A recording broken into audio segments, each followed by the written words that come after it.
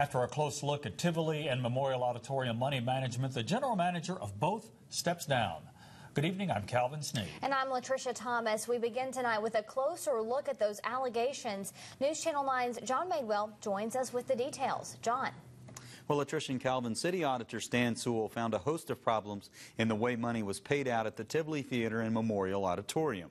Because of numerous cash payments, the exact dollar amount missing has been hard to track. But Sewell says there has definitely been false reporting, misappropriation, and conflict of interest. Sandy Coulter's office at the Memorial Auditorium sits empty. Coulter stepped down as general manager after a special project investigation by the city's internal audit. One of the key problems, a 1099 form paying her husband $3,100 for work as an usher. City Auditor Stan Sewell says that's a conflict of interest and the investigation could not verify her husband actually worked events. Sewell also says too many checks were written to cash and Coulter altered a payment receipt to a merchandiser. She worked at the auditorium for 32 years and became manager five and a half years ago. Memorial falls under the Department of Education, Arts, and Culture. I'm serious about this. I'm disturbed about this. It's wrong. I'm a taxpayer too.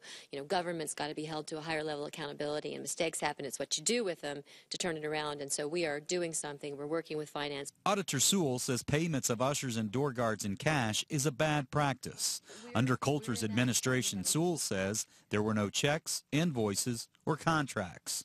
And that operation happened outside of city oversight. We are now, um, these transactions go through, finance has to sign off on this as well as us. I am now committed to the, the, the manager reports to, will report to me. We are requesting proposals for uh, ushers, stagehands, and security.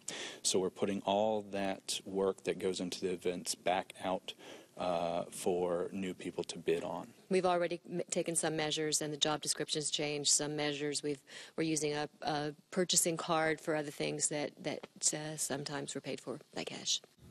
Now, she went on to say they hope to have the new processes in place by January, and Missy Crutchfield and her deputy will run Memorial and Tivoli until a new general manager is hired.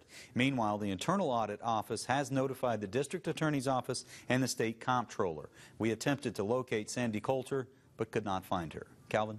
Thanks, John.